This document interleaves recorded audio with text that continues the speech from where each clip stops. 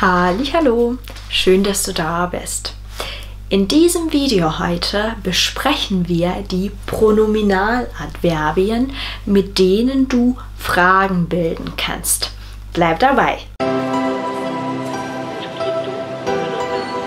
In der deutschen Sprache gibt es Verben, die immer mit bestimmten Präpositionen genutzt werden.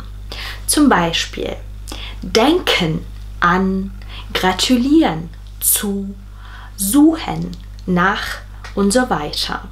Das bedeutet, man muss diese Verben immer mit diesen Präpositionen auswendig lernen. Wo kannst du sie finden? Überall im Internet gibt es solche Listen mit diesen Verben, die du für dich herunterladen kannst. Wichtig ist aber zu wissen, wie man Fragen zu solchen Verben stellt. Und das wollen wir uns jetzt gemeinsam anschauen. Hier ist ein Beispielsatz. Ich suche nach meinem Schlüssel. Schlüssel kennst du? Zum Beispiel von meiner Wohnung. Ja? Hier sehen wir ein Verb suchen, das immer in der deutschen Sprache mit der Präposition nachgenutzt wird. Und jetzt möchtest du eine Frage zu diesem Satz stellen. Zum Beispiel weißt du nicht, was diese Person sucht und du möchtest diese Person fragen. Dafür brauchst du zuerst das Fragewort wo. Wo. Ja? Danach kommt immer die Präposition, die mit dem Verb, das in deiner Frage kommen wird, genutzt wird. In dem Fall nach. Ja? Wonach? Danach kommt natürlich das Verb, in unserem Fall suchst, und dann das Subjekt, du. Wonach suchst du?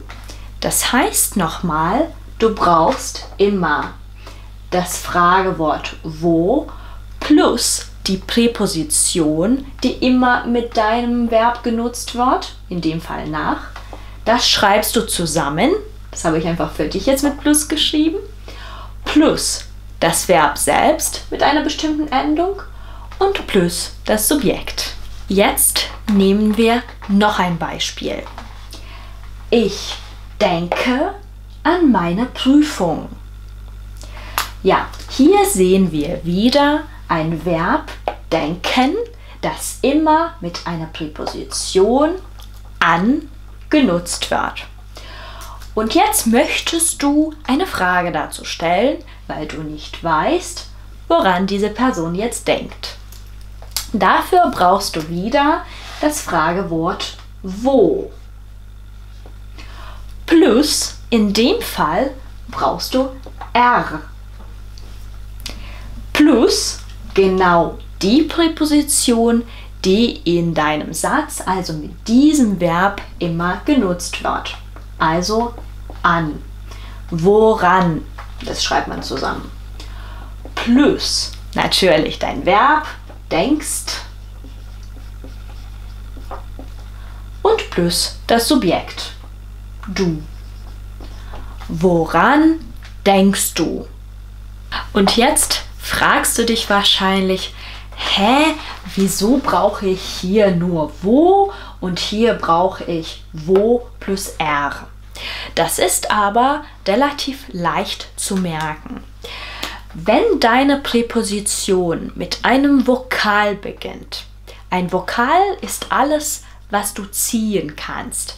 A, O, U, Ü und so weiter. Das sind Vokale. Und wenn deine Präposition wie hier mit einem Vokal beginnt, dann brauchst du immer R.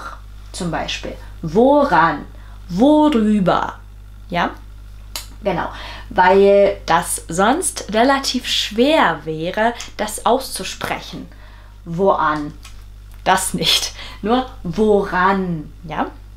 Wenn deine Präposition aber mit einem Konsonanten beginnt, zum Beispiel N, V, M, also mit allen Konsonanten, wie hier auch, N, ja, dann brauchst du kein R mehr.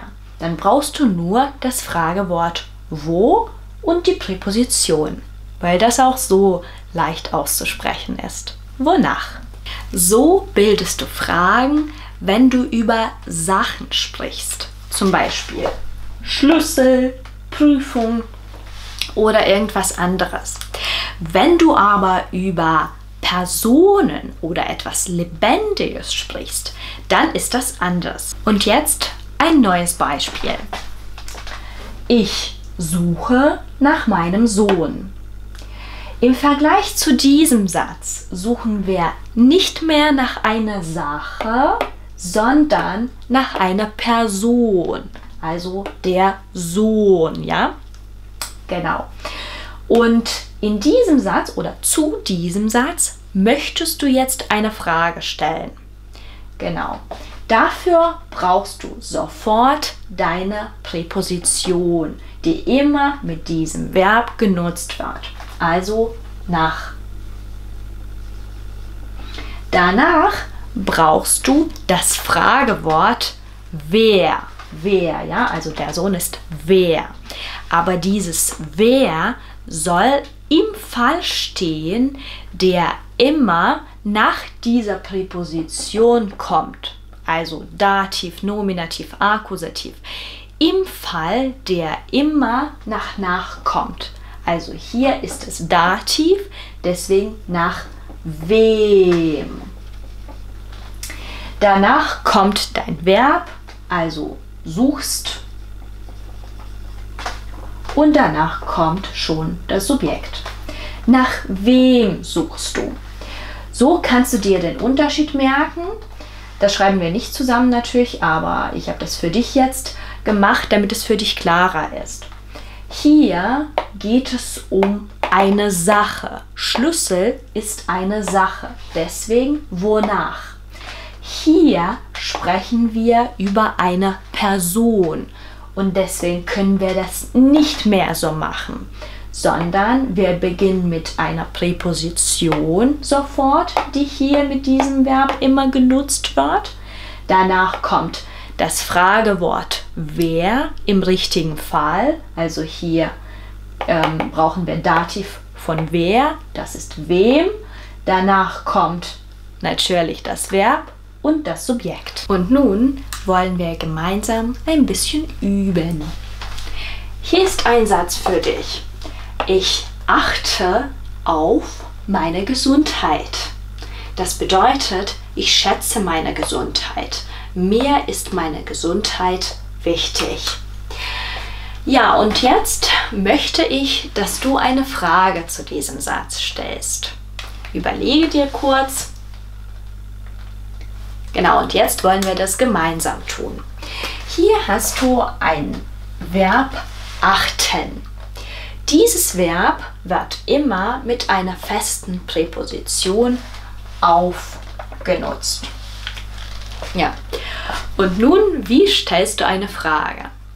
Zunächst musst du wissen, ob es in diesem Satz um eine Sache oder um etwas Lebendiges oder eine Person geht.